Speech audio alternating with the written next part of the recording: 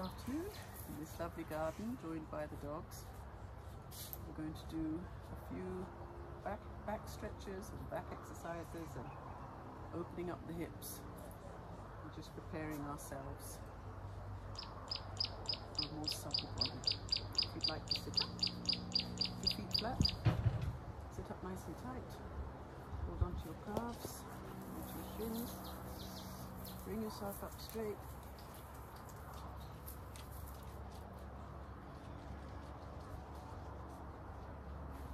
Put yourself down. To start out with single leg raises. You stretch out your left leg, bring out your right, pull it into your chest. Take it down to the side of your chest and open up that knee. Bringing almost towards your armpit.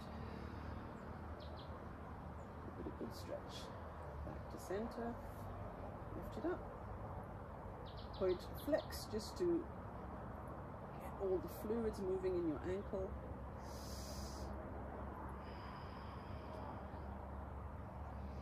And bend it in again. And release. Let's do the left leg. Bring the knee in. Close to your armpit.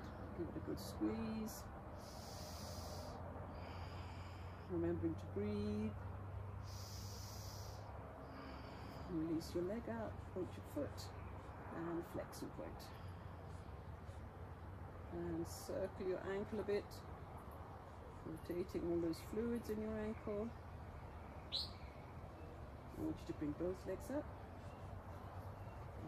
Support yourself with your hands, press your fingers into the ground, and rotate your feet.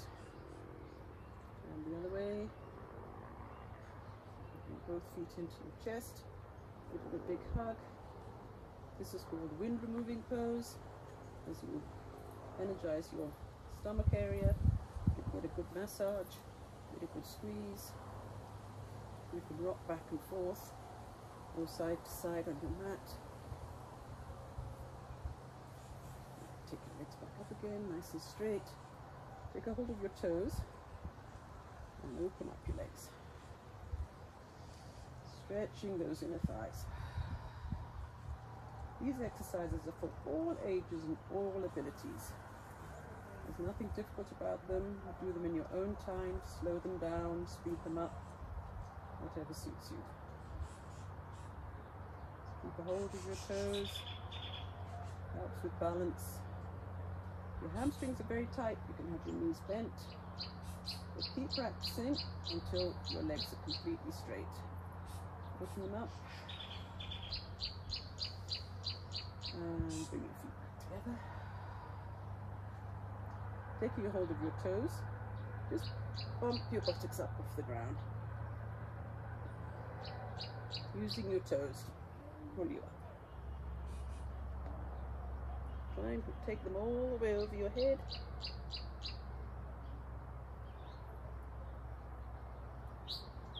And down. Release your knees. Put one leg down. Try and center yourself a little bit. Your T4 with your right ankle over your left knee. Opening up that hip on the right. This is a lying down pigeon pose for those who find pigeon difficult when you're on your front. Lift up the left leg grab a hold of your shin or your thigh. You can go through your legs if it's easier.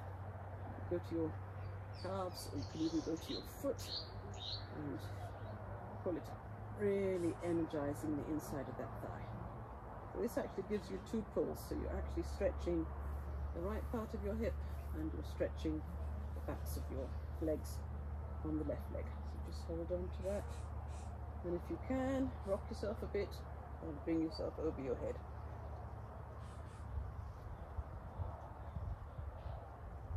Face is tucked just underneath the shin.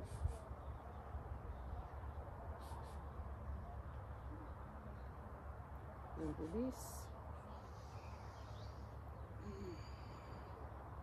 Bring the left leg and change sides. So Get yourself into position, lifting up your right leg, holding behind the calf or behind the thigh, just give yourself a little bounce, opening up that left knee. Keep of your calves or your toes, wherever you're most comfortable, and bump yourself up and take your foot over your head. So from this side you can see where my head is. It's very comfortably just located by my calf.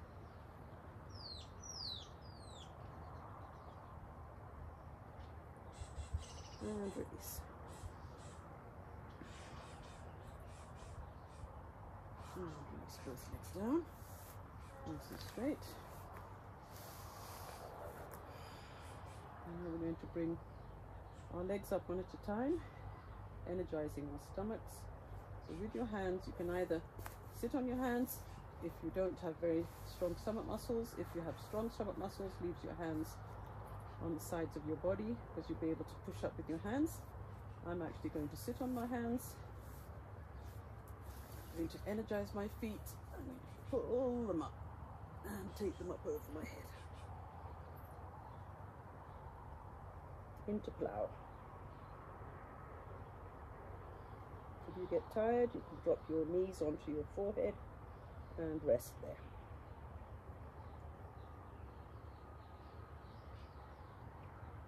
And release. Release one vertebra at a time going down. Using your stomach muscles, engage, engage, engage as your feet go back. As they hit the ground, bring them up again. This time we're just going to go into a half plow Your hands on either side of your calves and just hold that position. This may be easier for those who are not familiar with going into the full plow. You can just hold it here. Trying to bring your thighs and your stomach together with nice straight legs. And your hands are giving you the support. And release.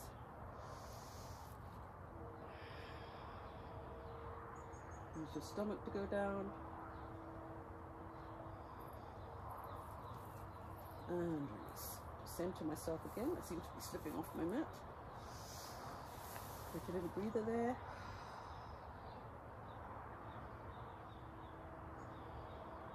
And we're going to arch the back the opposite way. You're going to bring your feet closer to your buttocks. Your hands underneath your hips.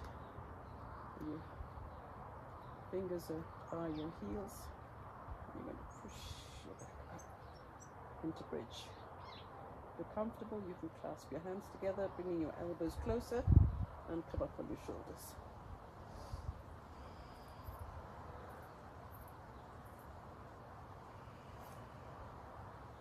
Those of you who want to go into wheel, you can go into wheel from here. You put your hands on either sides of your ears and bring yourself up into wheel.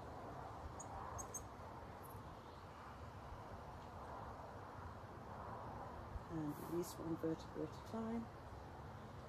Go down, knees into your chest, and the back a little bit of break, and rock side to side.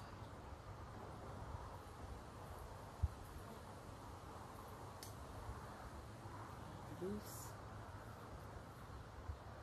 We're going to go up into a very simple shoulder stand using what we've been doing now You're going to take your legs up into the air, bring your feet up over your face, take your hands,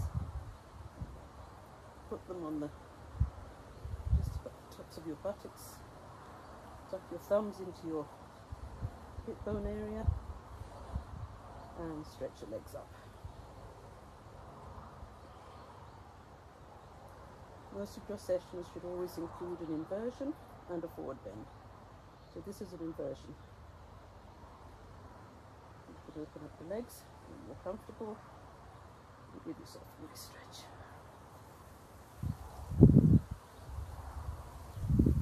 Together.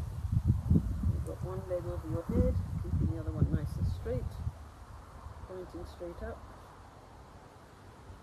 And exchange.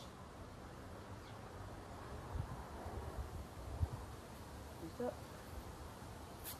You've got your knees onto your forehead. Adjust your elbows to bring your elbows closer together. And tip yourself back up.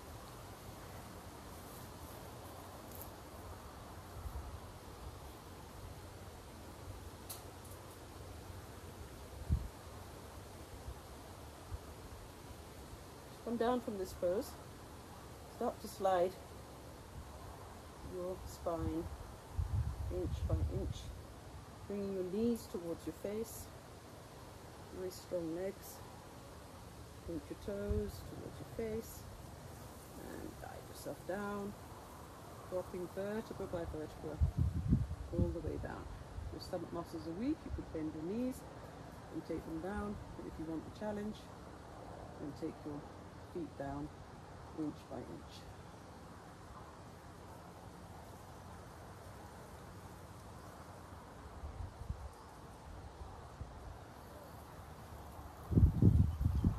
Ooh, take a little break here.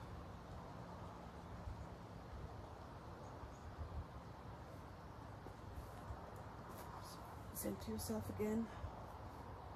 Tuck your hands underneath your body feet up into the air again. You're going to come into a hinging motion, up into seated. Slide your elbows out a tiny bit. Fingers are pressed into the ground, and this is going to bring you up into a seated position. To tilt your chin into your chest, starting to drop your legs. Drop your legs into supported boat. You point and flex. You can open up your thighs. Your hands are helping you, so this isn't, this is a very easy boat. When you don't have the help of your hands, the boat can be quite tough. And release.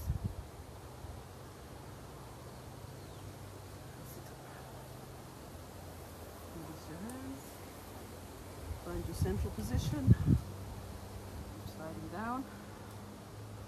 Do a few forward bends just to complete the session hands up into the air. Make yourself nice and tall. In fact, before you start, remove the excess flesh from your buttocks. Hands up, take them over your feet. Clasp your feet. Bring your chest down onto your thighs. And breathe.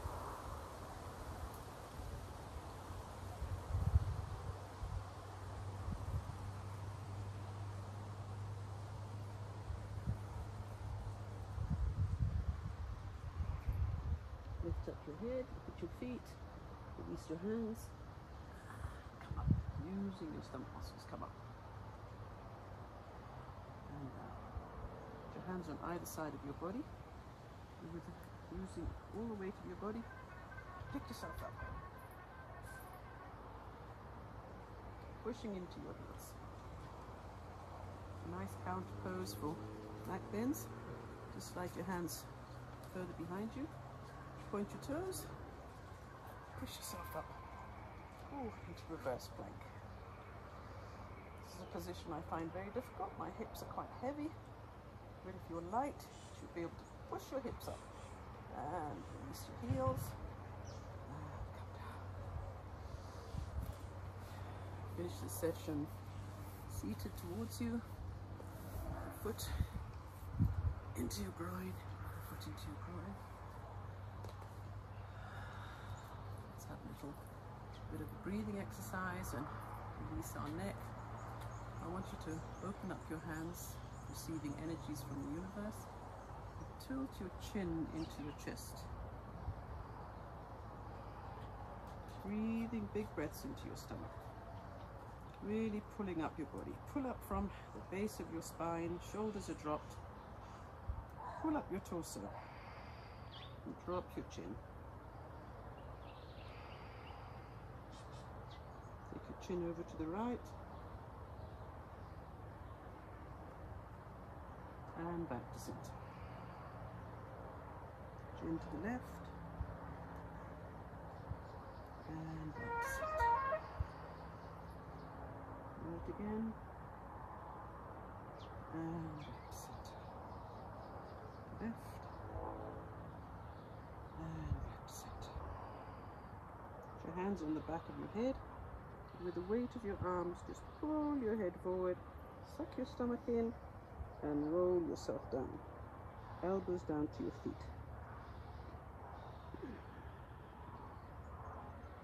Just rest there, enjoying the stretch in the back of the neck.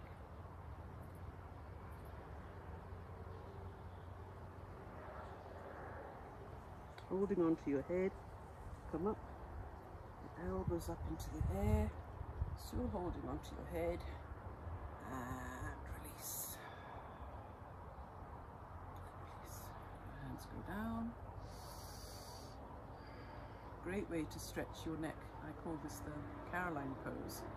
My daughter-in-law taught me this if you have a stiff neck. Turn your head over to the right and see how far you can see behind you.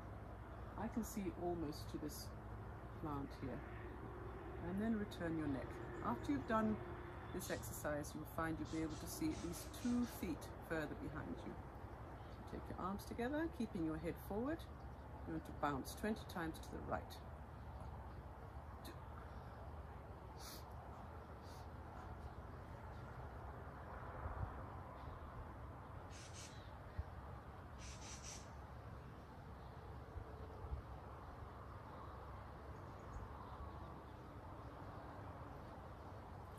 That's 20 bounces. Release your hands. Now turn your head. See how much further you can go. I can now see all the way to the eucalyptus tree on that side. Really great exercise for your neck. Let's do the other side. Turn to the left. See how far you can go. I can go to the purple coloured plant there. That's it. Go back, grip, and go to the left.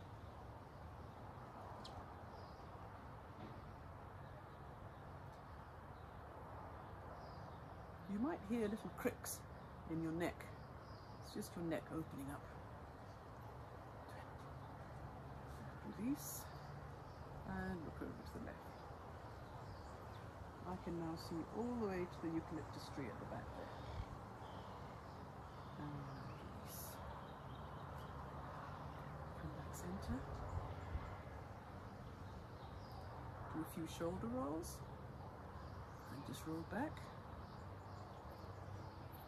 Taking the arms, your hands, and rolling. We carry so much tension in our shoulders.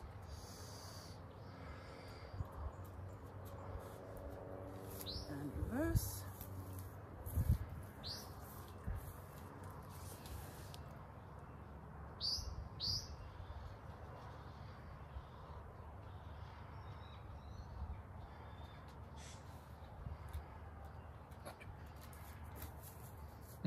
Now be visited by the dog for the last exercise. Just put your hands close to your heart. The love of an animal is amazing. It can't be replaced. And we'll say namaste